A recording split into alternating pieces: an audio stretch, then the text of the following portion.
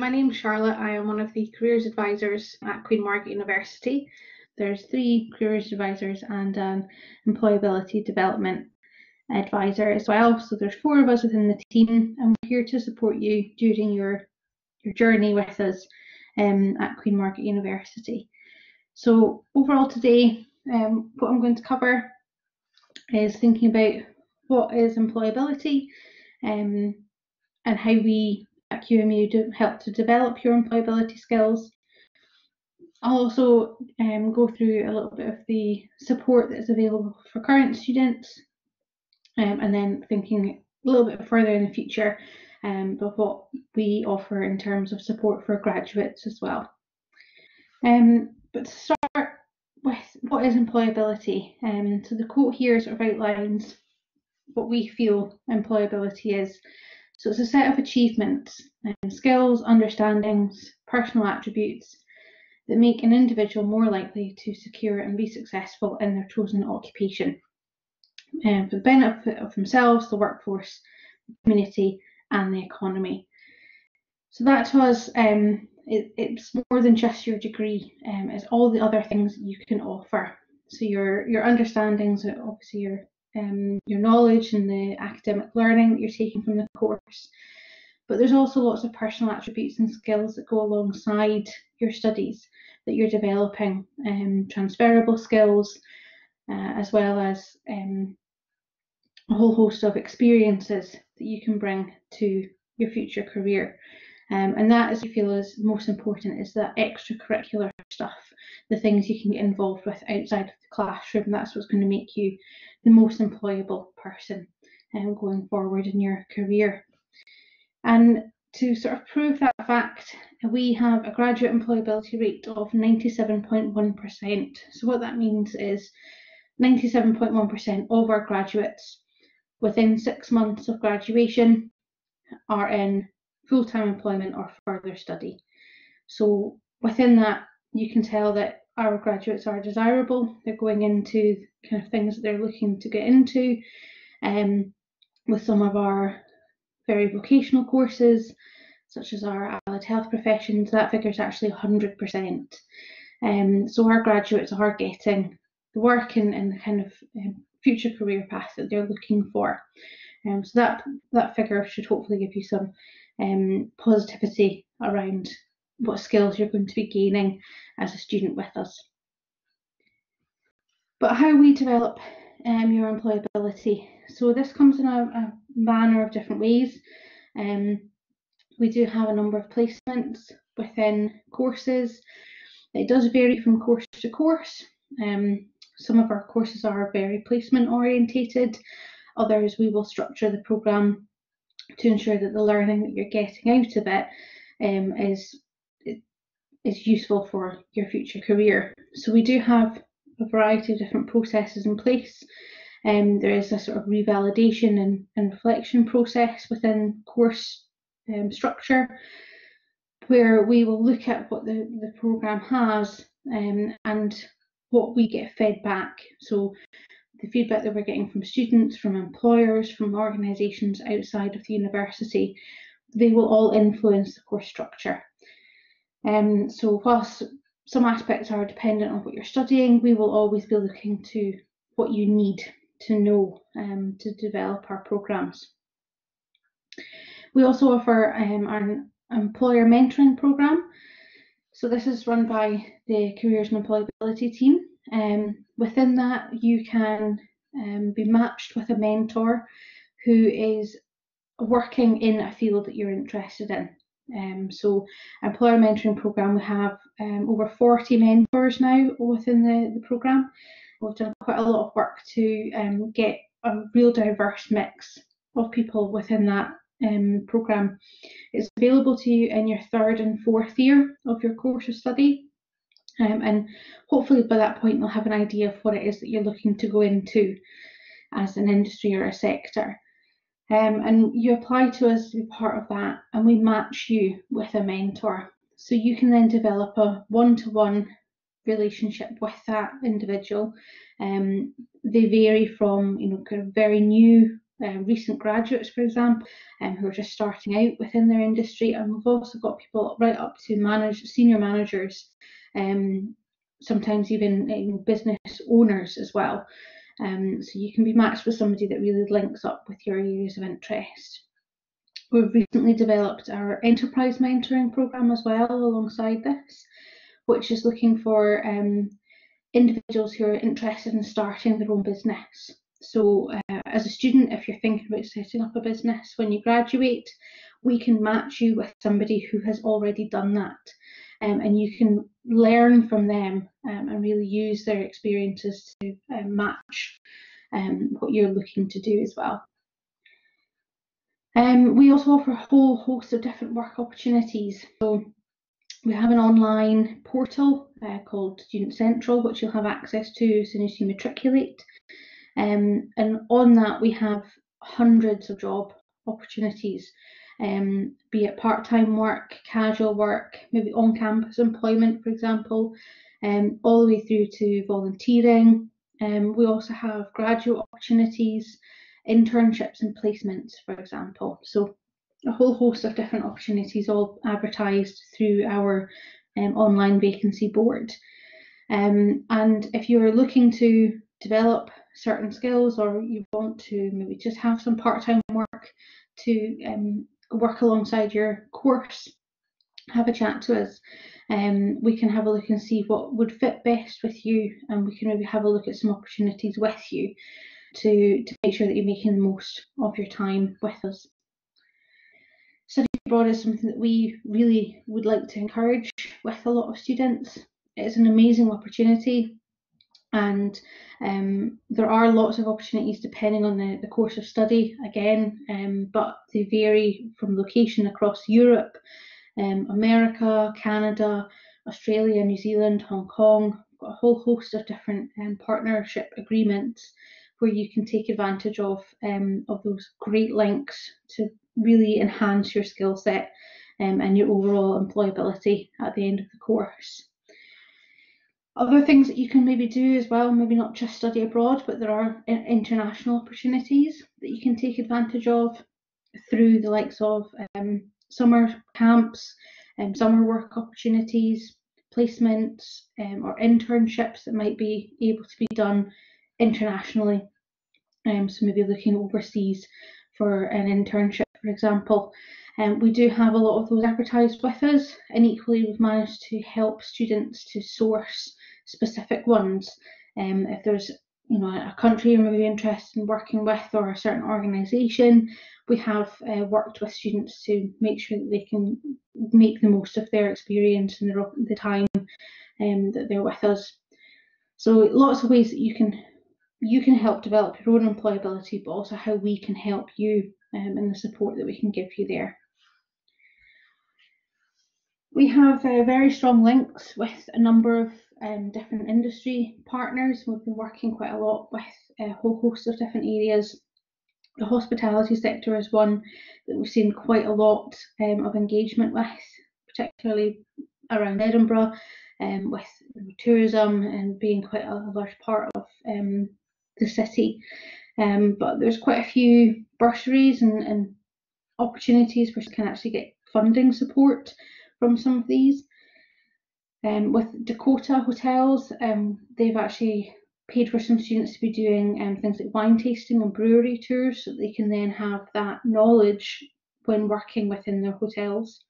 Um, Apex have paid for some students to um, be supported through postgraduate study um, with funding.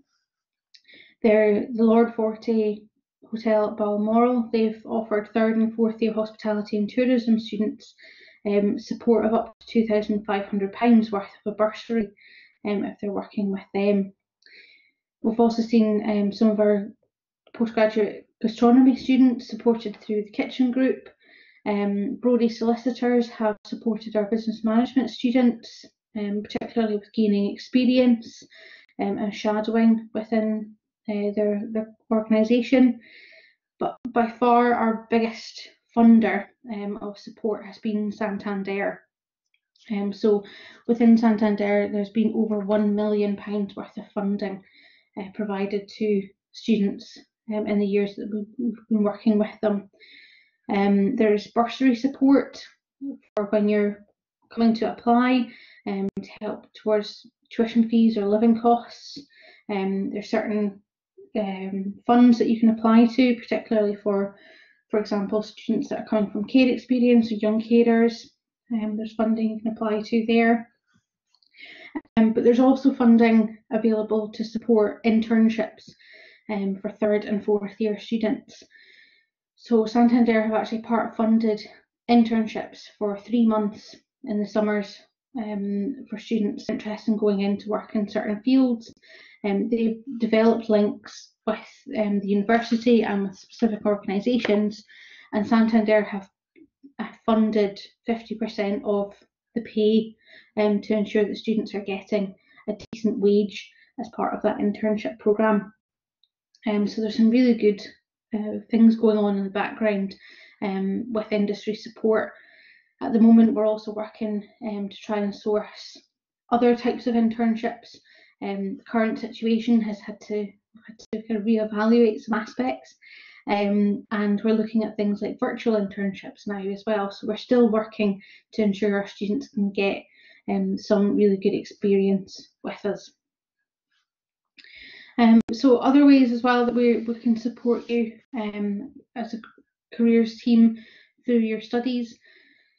So with um, information and advice, we have, as I mentioned before, our online portal. Um, so that is available to you 24/7. Um, there's lots of resources and things on there. We've um, got things like example CVs, um, information guides, all that kind of stuff. So you can browse through that. Um, but we can also provide advice and support for if you're maybe applying for jobs, um, looking at part-time work, you want somebody to look at your CV, for example, to give you some feedback, um, or a job application that you're completing, we can have a look and give you some feedback on that. LinkedIn profiles, all that kind of stuff. So we've been um, working with students to try and support them as best we can, even from the moment they arrive. Um, so within our our um, early semester, we typically will have a careers fair, um, which will have opportunities like part-time volunteering, um, as well as some of those kind of international opportunities for the summer months. There's also a graduate um, fair there, so we have graduate programs advertised during that session as well. Um, some of the education work that we do is linked to your modules. So within some of the courses, we are um, working with um, module coordinators to actually do some sessions in class with you, um, talking about kind of future careers, um, looking at CVs, etc. Um, so we've been doing quite a bit of work on, on that. Um, we're influencing some modules as well within certain subjects. Um, we work with, for example, with the media department. There's a module called Working in the Media um, and Creative Entrepreneurship. So if you're thinking about setting up your own business, um, we can help you kind of work through what it might that might look like with you, um, and that's part of the um, the creative entrepreneurship module as well. Um, and then we've also got guidance. So we can offer guidance sessions with you again at any point. And we tend to see students more in the later years of their studies when they're thinking about that next stage. So what is it that you want to go into? Um, and we can do one-to-one appointments with you, um, or we can do, you know, done a variety of different things recently in the current situation, online appointments, video calls, um, telephone appointments, that kind of thing. So we're working working through to um, be able to offer you as much as we can um, whilst you're studying with us. But it doesn't just stop there. So um, we do offer our graduates careers advice for life. So as a graduate of QMU, you will always have access to our support and the, the services that we can offer within the careers team. So be it five years down the line or even 10 years after you graduate, we have students that are contacting us um, maybe they're applying for a different job. They've perhaps been in a job for a couple of years and they're a bit out of practice with the whole thing. Um, we've also been working with a variety of different uh, opportunities to develop like LinkedIn profiles or some workshops, etc., where you can maybe take advantage of some of that information and guidance that we have. Other things, so it might be that you're having a complete career change, for example, and perhaps it is 10 years from when you graduated and you're not quite sure how to go about that, then we, we can offer you advice. Um, so we do have students that contact us, as I say, maybe it is 10 years after you graduate and you want to have that one-to-one chat just to talk things through. The support is there um, and all for you. So at any point, our, our door is always open to you as a graduate of QMU. And that sort of rounds it off from me. So thank you very much. Hopefully it's been helpful and informative for you. Um, if you have any questions, then please do pop them in to the chat box and I'm more than happy to answer any questions. Okay, Kiara has asked, um, do you help with interview skills or CVs? Yes, absolutely we do. Um, so we do have workshops, for example, that we run for CVs, maybe how to write a CV if you've not got one. We can also um, offer feedback on CVs. We regularly have people sending in um, a CV to us, for example, um, and we will give them feedback. We've also done mock interviews with students. So if you have an interview coming up for a specific job and you maybe want to just practice a little bit, um, maybe you've not had an interview before, or it's been a long time since you did, and um, we have done mock interviews with students as well. So yes, we will be able to offer um, help with those. Um, so Marcus is asking, how easy is it to find a part-time job as a student from the EU? Um, just finding a part-time job in general, regardless of where you're from, um, is fairly straightforward. But one of the advantages with Edinburgh is that we have such a large student population.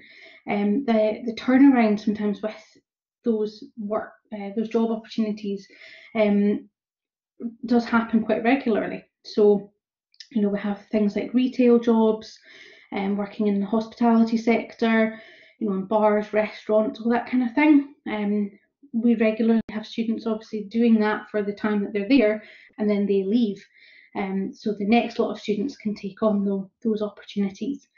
Um, so generally speaking, finding part-time work it, it's a, it is possible, it's definitely there. Um, one thing to bear in mind as um, a student from outside of the UK, you will need to apply for a national insurance number before you'll be able to work. We actually set up um, national insurance appointments at the start of semester. So um, we have the team come onto campus, so you don't need to set up a, an individual um, session separately with them. Um, they come, they typically will come onto campus and can do one-to-one appointments through that. So that's one thing you will need before you can start working is your national insurance number. Um, but if you do need any help or support with finding work, um, then please come along. Um, we have our employability centre, um, or you can send us an email um, to careers or employability um, if you're looking for part-time jobs. We've also got within the online portal and um, we have regular vacancies listed there and there is a newsletter that we send out as well with current vacancies listed so yeah you should be able to hopefully find something quite quickly if that's important for you um, and hopefully that's also answered um, the follow-up as an international student question there as well because um, as again, you'll need a national insurance number, but all of the opportunities are available for anybody to apply to. Okay, and Neve has asked, is there any jobs available on campus? Yes, there definitely are. Um, one of the main job opportunities I would say is being a student ambassador. Um, so taking tours of the campus, um, taking part in events like this, for example, um, to give your knowledge and information about um, what it's like to be a student. So we have um, opportunities around um, the first week, um, so kind of induction and, and helping people find their way around, open days, um, on-campus visits, that kind of thing. So there are definitely opportunities in there. We have some students that work in um, the catering facility on campus, so either through um, Starbucks, uh, through the shop, through the canteen, um, through Maggie's bar um, and cafe over over in the Students' Union. Um, there's part-time jobs available with with those um, groups as well. And we do have kind of one-off things coming up. So maybe we have a large event coming onto campus, um, you know, a large uh, conference, for example, and they're looking for a couple of people to help signpost people or direct. Um, we do occasionally get sort of one-off job opportunities like that as well. Um, but your most regular are things through um, catering uh, on campus or through our student ambassador program, and both of those will be advertised through the, the Student Central um, vacancy board as well. Okay, and Maddie, is asking, is QMU mentoring any students who want to enter a TV film with the employer mentoring scheme? Um, yeah, so QMU mentoring is, um, our mentoring employer program is open to any student across any um, of our subject areas. Um, we do have um, people that are working within um, filming. Um, usually it's a kind of slightly smaller scale than kind of the TV industry as such, um, because we tend to get individuals that are more local to Edinburgh. Um, but we we have been expanding our network quite a lot. Um, so we have got links with people who are across uh, media, just in general. Um, so within the, the program, when you apply, you say what kind of individual you'd be interested in being matched with.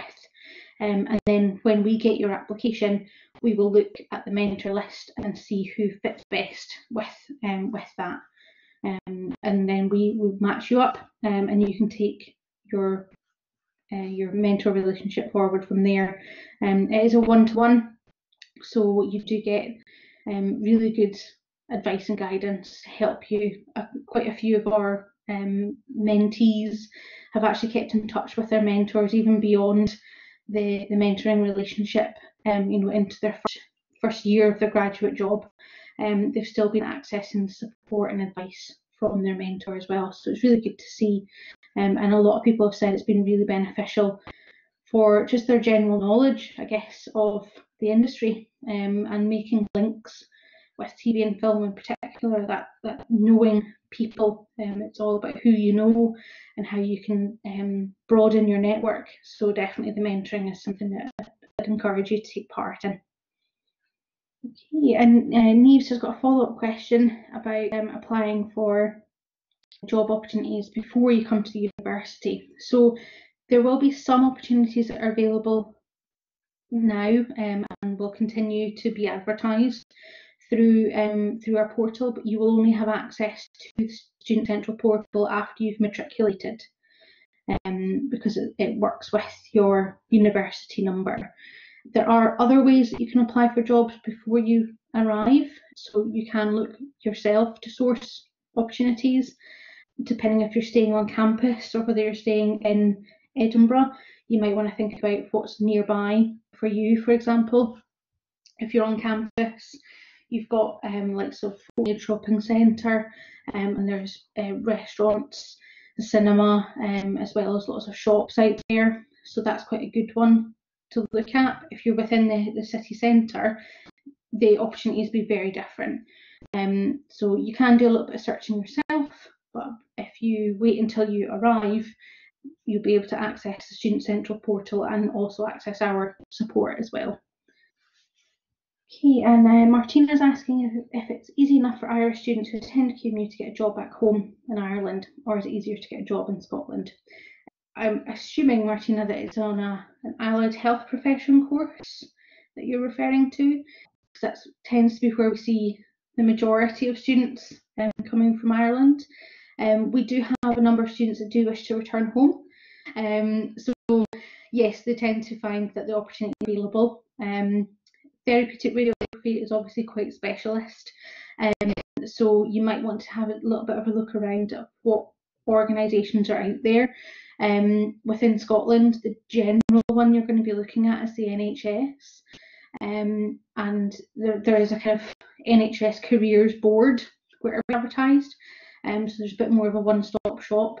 Whereas in Ireland, you might find that it's a little bit more fragmented um, for where you source your job opportunities. But we do know that students are successful in returning home every year um, and will be able to find opportunities. It's more about looking for them.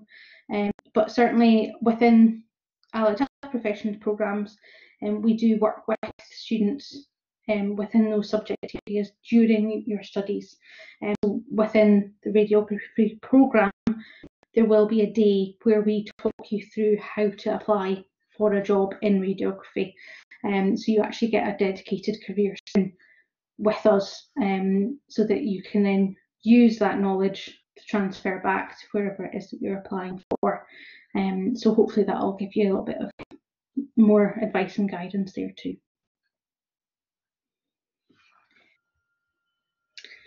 Okay, I've got one question from Brittany. So asking if uh, having a master's provide better job opportunities. Um, it really depends on a lot of different factors, to be honest. Whether the course is tailored to a specific vocational path. So, um, you know, for example, if you are looking to study gastronomy, for example, that's quite a specific kind of route. Um, so perhaps you do need that that master's in order to get into that career, particularly if you've not had any qualifications in that that area before. For some people, it's just that they want to enhance their knowledge and their experience. So, um, if we're thinking about the international leadership, management, and leadership courses, it might be that somebody has a particular interest in, in developing knowledge in that sector. It all depends on individual circumstances, really. Job opportunities wise, there are a whole host of job opportunities some may specify that you need to have a master's. Others might only ask for, you know, a minimum of a bachelor degree, for example. But the the benefit of the masters is you're enhancing your knowledge that bit further and providing yourself with that opportunity to really go in depth with your knowledge um, and your your understanding that you can gain from the course. There's also aspects like self-discipline, those kind of personal qualities I mentioned in the beginning of the presentation. So personal qualities can be things like your time management and your self-discipline, being able to really focus on what it is that you're studying. You know, at undergraduate level, you maybe have a little bit more hand holding perhaps. You're kind of guided through a lot of things. Um, but at master's level, it's really very much up to you, um, you know, to be doing the work and making sure that you're you're completing the assignments and things. So the kind of personal attributes that you can develop through a master's is definitely something that would be beneficial for your future job opportunities.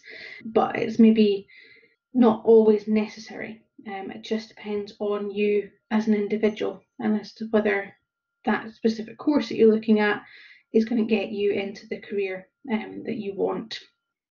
Okay, and uh, Kiara's asking, would being on placement affect having a part-time job during the course? So it can if your placement's obviously slightly further afield. What we tend to advise is if you're looking for opportunities through our jobs board, then obviously that job has been advertised to students. So people that have advertised that vacancy know that they're they're advertising it to students who do have full-time studies, particularly if you're looking for you know opportunities like on campus, um, the student ambassador program, for example. That's a really flexible job. So we tend to say that if you are in placement, something to make your employer aware of, perhaps as you're going through that process. But it certainly doesn't stop people having jobs. If you're on placement, we do know of students having part-time jobs during their course. You might be more interested in having seasonal vacancies, so maybe just taking on work over the summer term or over the Christmas break, for example. So there can be seasonal opportunities that might work better depending on when your placement times are. But as I say, if you are applying for vacancies that we have advertised, they are going to students so the organisation that have advertised them should know that you do have other commitments outside of that um, that job as well. So hopefully that can help balance things. But if you do have any questions or concerns as you're looking for work, then do come along and have a chat with us. We're more than happy to help. Okay, and I've got a question about having links with consultancy firms. So some of my other colleagues have been, you know, working with the university for a bit longer than I have. So I think it's certainly something that my colleagues would be able to give you a bit more support with. My colleague Juan has he's developed links particularly because he runs the employer mentoring program so um, he has been working with a whole host of different organisations. And I think there are perhaps some consultants that are mentors now as well. So that might be something that he can give you some further advice with. But if it's not something that we can immediately help with a specific firm, then certainly we'd be happy to work with you to do a bit of investigation into you know where it, it might be that you want to look for those links or contacting other academics on your behalf to find out you know what links that they have as well so hopefully we'll be able to give you some advice if we don't necessarily have the key contact person um, off the top of our heads do feel free to email or, or get in touch with us and be a little bit more specific about what it is you're looking for and we should be able to help you there so that sort of rounds things off hopefully it's given you a bit of an idea of what we can do in terms of support. Um, any questions you have, do get in touch. Get in contact with ourselves directly, with the recruitment team, and just ask ask anything that we can maybe help you with. But thank you very much. Hopefully it's been helpful for you. And as I say, hopefully we'll see you later on in the year.